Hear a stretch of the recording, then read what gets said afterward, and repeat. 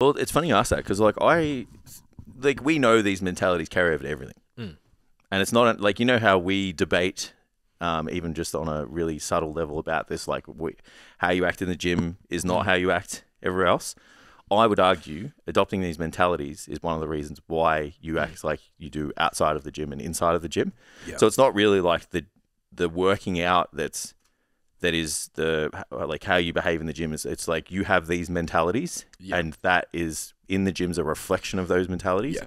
And everywhere else in your life, if you possess these mentalities, is a reflection of that too.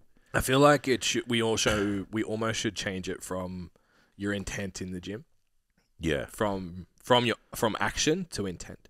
Yeah. Because it's like if the intent is to chase clout or front or whatever, that's why you train. Yeah. Or if you're trying to get laid or whatever, like that doesn't. It's not going to carry over into like being successful in the rest of your Oh, life. you might, you know, go to work to make money, train to get laid. Yeah. yeah. Action outcome. but yeah, when it comes from an intention standpoint, it's very different. yeah. Yeah. Yeah. So three mentalities that we live and die by, um, and we call them mentality because it's way cooler than mindset. Just throwing it out there. Just want to I'm surprised how little pushback we got. we want to distance video. ourselves from that pack. Yeah. You know, I just don't subscribe to some of the shit that Mm. people throw out from that perspective in that space. And I think mentality for us just sits with who we are, Yeah. what we talk about, what we live by. So, definitely have yeah. a, definitely has a stronger connotation to it. yeah, and I feel comfortable talking about. it. When you Yeah. say mindset, I kind of shiver a bit. So the first one's growth mentality. Yeah. Uh, and then we have ownership mentality. And then we have the be do have mentality. Mm. So starting with growth, Ben, how would you describe that to somebody who's like, what the fuck does that mean? Someone who believes that their current position isn't their final position. Yeah. They're not fixed. Yeah. So And they're, everything in life is changeable. hmm Skill set, personality, outcomes. Yeah. All of those things in particular. Yeah. You where you are right now doesn't define where you'll be tomorrow infinitely. Yeah. Yeah. And what would be an example of someone who doesn't possess a growth mindset in their own journey towards their fitness goals? I'll never be that jacked. I'll never be that lean. I'll never be as strong as them. Yeah. Yeah. Those types Yeah, of never things. going to be able to lift that much. Yeah. Never going to be able to master this deadlift. Like, Yeah. yeah, yeah, yeah. Or I'm just like I'm the fat kid or yeah, whatever. Just like anything. A really big warning, like uh, red flag for it, is like the identity thing. I Yeah. am yeah. like, or Yeah. I have. I have, yeah, Like, stop that. like you and I have talked about it before. Even like again, keeping it, not necessarily keeping in training. Like we've talked about that we both get anxiety. Yeah. But we avoid saying we have anxiety. Yeah, of It's course. like I don't want to give it that much power over me. Can correct, get it, but I don't have it because it's not going to stay here and it doesn't stay Yeah. here for permanently. correct, So that's just like a little bit of a I'm winning this battle kind of thing. yeah, But if I see that language, it's like I am weak. Yeah. Like it's like well you're not. You Mm. just haven't trained enough. Like Yeah. you can be stronger. Um yeah, I think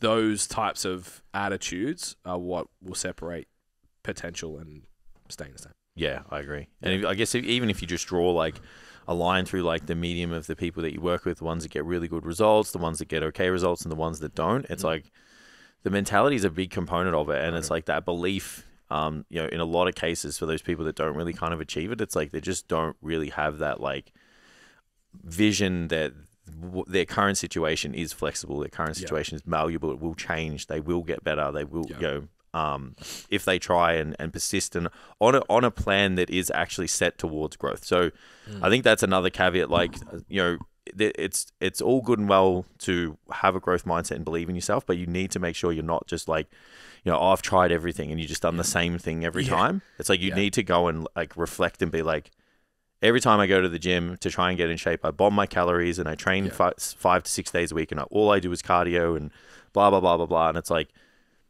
it's not working. Yeah. The growth mindset doesn't make you go back and do that same thing. Yeah. It makes you sit back and go, Be reflective. what is happening here? Why am I not really moving where I need to go? and what do I need to do to change it? And it's probably in a lot of situations for that specific example, I need to change the approach. Yeah. The intention and everything's there. I can show up, I can work hard, whatever. It's just how I'm doing that is different. Yeah. Yeah. Hundred percent agree. Yeah. Yeah. Um, obviously, shout out to the Carol Dweck book, Great book. Mindset, which unpacks this really, really Yeah. well. First 150 pages are a must. Yeah. And then just pick your industry that you want to kind of, I guess, unpack some of the mindset stuff in there. Yeah. It's really good. Yeah, Really, super really valuable. And like you said, I think we're in a position now where we attract predominantly we attract people that at least have the growth mindset there. Yes. And I think when people a lot of trainers talk about like attracting better clients, we talk about this a lot. Like Yep. as a client going to look for a trainer, it doesn't matter people come to me and say, "Oh, but I don't want to compete."